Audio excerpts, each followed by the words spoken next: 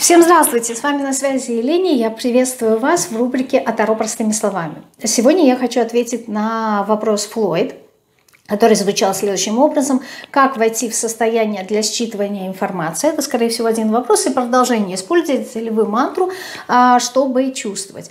Отвечу, наверное, по порядку. Первый вопрос. Как войти в состояние для считывания информации? Каждый человек находит а, свой какой-то определенный способ, и здесь нет какой-то, а, знаете, конкретной настройки, все достаточно индивидуально. А, суть заключается в том, чтобы просто, а, как в самом слове, да, а, настроение, настроиться на ту или иную а, волну. Что значит настроиться?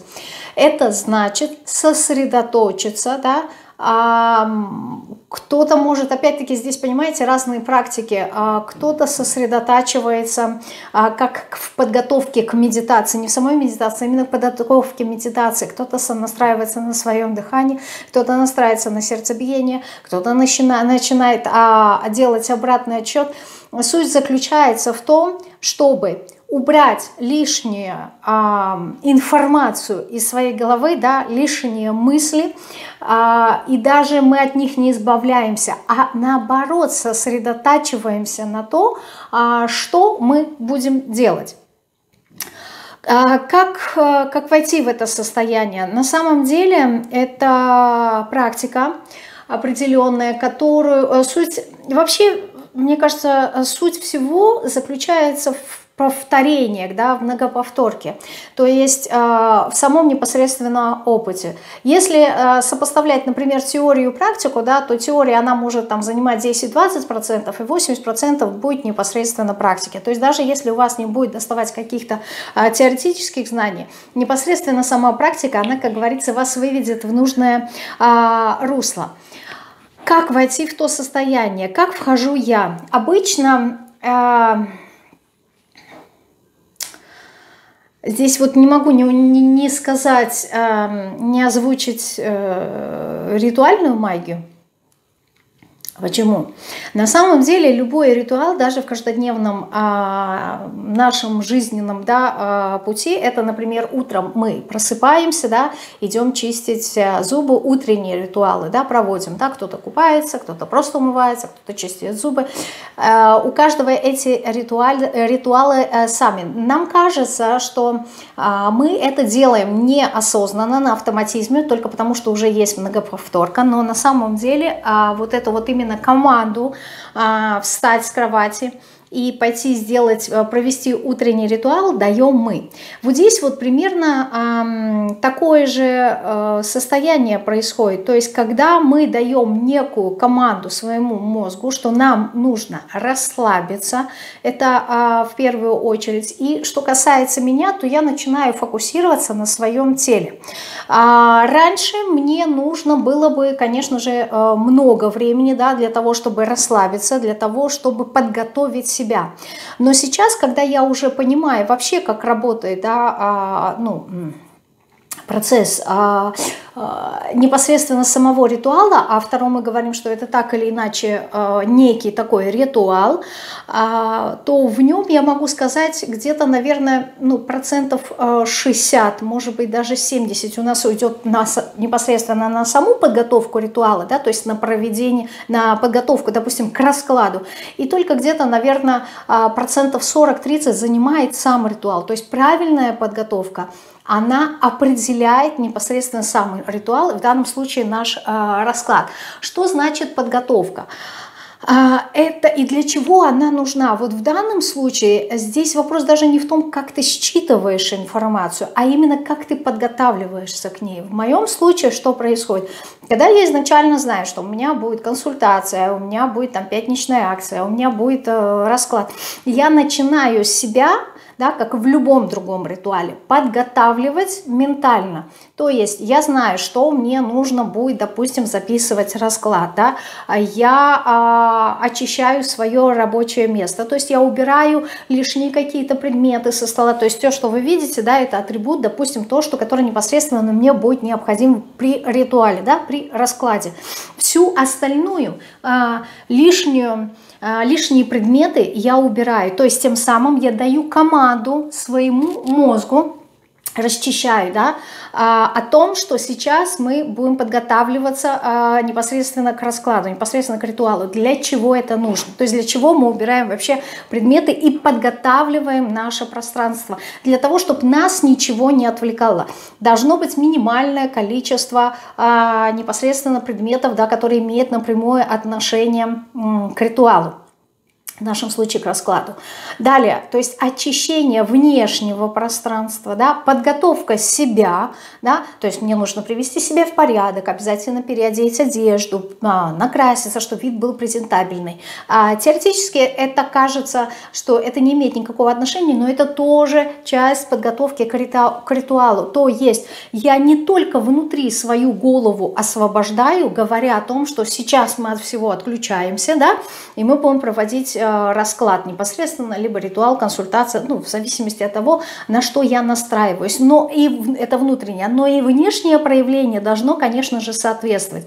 Да? То есть я отключаю интернет, чтобы меня ничего не отвлекало, я подготавливаю свое пространство, я зажигаю благовоние, которое меня непосредственно расслабляет, я зажигаю а, свечку, которая также а, теоретически здесь происходит очищение, да, то есть огонь все равно э, сжигает негатив. То есть все атрибуты, находящиеся, да, допустим, на они подготавливают, то есть э, дается команда моему мозгу настроиться на то, что сейчас будет происходить. Это очень важный момент на самом деле.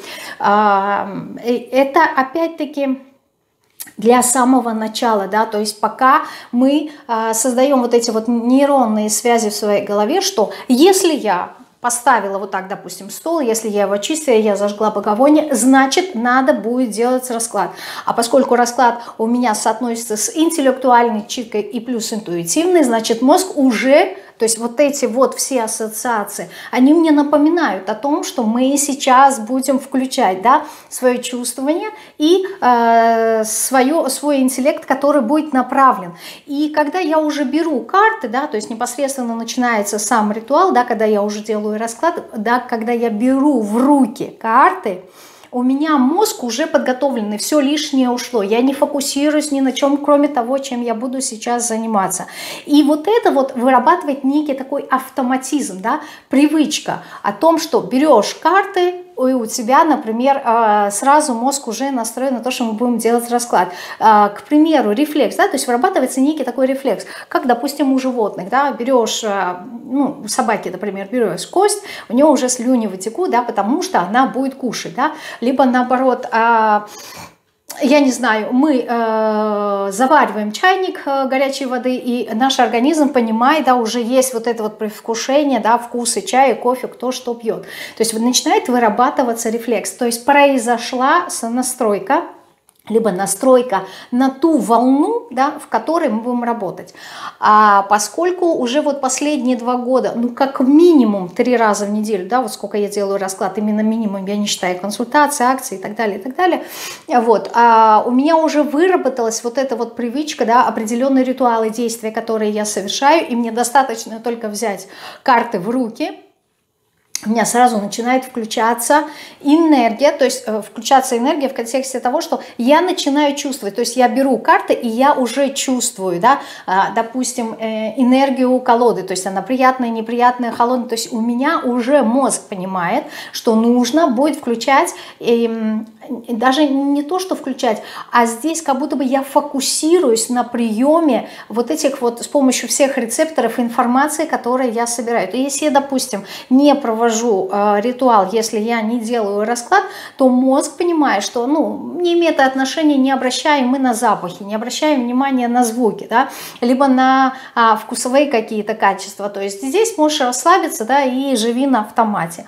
Но когда э, я понимаю, что я беру э, в руки картой, здесь уже у меня вырабатывается автоматизм, говорящий о том, что Сейчас мы будем делать расклад, и я уже настраиваюсь. Поэтому, отвечая на вопрос, как войти да, в эту, вот, вот именно вот в это состояние, а, очень а, важно, а, важна подготовка, я бы так сказала. Да? То есть, допустим, люди, которые занимаются практической да, а, магии, то есть а, проводят всевозможные ритуалы, они подготавливаются, то есть э, процесс подготовки, да, даже у опытных а, магов, ведьм, он достаточно бывает большой, да, то есть это может быть и полгода. Это не значит, что они вот полгода а, полностью там ходят в этом состоянии. Нет, но они подготавливают. Допустим, месяц подготавливаешься, если э, начинаешь э, рассчитывать какие-то лунные фазы. Это опять-таки не говорит, что ты сидишь и ждешь, когда наступит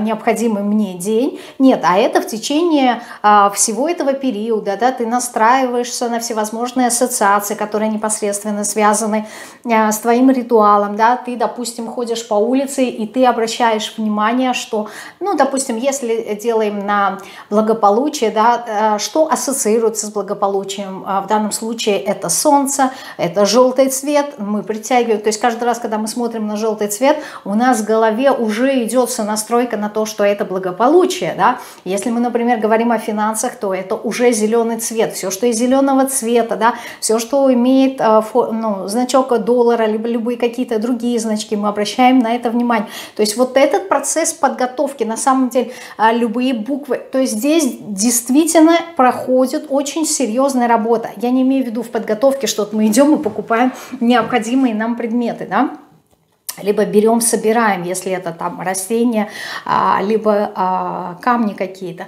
То есть здесь подготовка, суть во всех этих ритуалах заключается сосредоточиться, сконцентрироваться таким образом, чтобы ничего тебя не отвлекало. И вот процесс подготовки, он делает акцент на то, что приучает наш мозг концентрироваться на нужной нам информации. И потом, когда уже проходит непосредственно сам ритуал. Наш мозг уже приучен к концентрации, он уже не будет обращать внимание а, на ненужные, не будет нас отвлекать, не будет обращать внимание на ненужные нам а, предметы. Именно для этого, допустим, мы очищаем, освещаем да, а, то место, в котором мы будем работать. Почему? Потому что непосредственно в любом ритуале, будь то это расклад, будь то это какой-то магический, неважно, концентрация внимания, она очень важна. Потому что а, когда а, ты начинаешь что-то делать, и тебя в этот момент э, ум, то есть, да, вот эти вот все мысли, вот твоя энергия, она не сфокусирована, и тебя что-то отвлекло, все, ритуал пошел в насмарку, собирай и иди дальше. То есть здесь уже нету э, никакого смысла э, продолжать дальше. Почему? Любое отвлечение, оно выбивает себя из состояния вот этой сонастройки. Надеюсь, я а, объяснила. А в моем случае, как я вхожу, вот даже, ну, то есть я уже рассказала, да, что непосредственно сама подготовка, она меня сонастраивает на то, что будет происходить. И непосредственно в тот момент, когда я провожу а, ритуал, я достаточно сфокусирована на своих ощущениях, на восприятии, на глифах, Глифы – это собирательные символы, да, то есть, проще говоря, картинки, которые есть на арканах, а, обращая на них внимание. А, то есть здесь максимально важно сосредоточиться на том деле, что ты делаешь. А вторая часть вопроса звучит следующим образом. Используете ли мантру, чтобы чувствовать? Нет, мантру я не использую. На самом деле мантра, они не такие вот эм, уж и простые. Здесь тоже нужна практика, если мы правильно произносим мантру. Опять-таки у нас нету, нас никто никогда не обучает, э, как нужно, что нужно. И вот здесь вот метод а, проб и ошибок, да, либо наше стремление выучить что-то, изучить, понять, разобраться – она нас и мотивирует как раз-таки а, к продвижению. Обычно мы говорим, мантра – это повтор, да, повтор каких-то выражений и слов. Об этом знают все. Но как именно повторять, да? А, например, самая элементарная простая мантра, а, если вы, допустим, относитесь к христианству, да, это молитвы. Опять-таки, обратите внимание, как священники, да, как попы а, произносят эти молитвы. У них есть определенное произношение. Они тянут буквы в том, а, именно на тех местах, где нужно. Достаточно монотонно. Для чего? Для того, чтобы опять-таки войти в видоизмененное состояние. Что значит видоизмененное? Выйти из привычного нам. То есть если мы привыкли активничать, чтобы наш мозг активничал, мы постоянно что-то думали, значит здесь будет любое другое, где не будет этой активности. Поэтому уметь э, произносить мантру надо тоже знать, как это.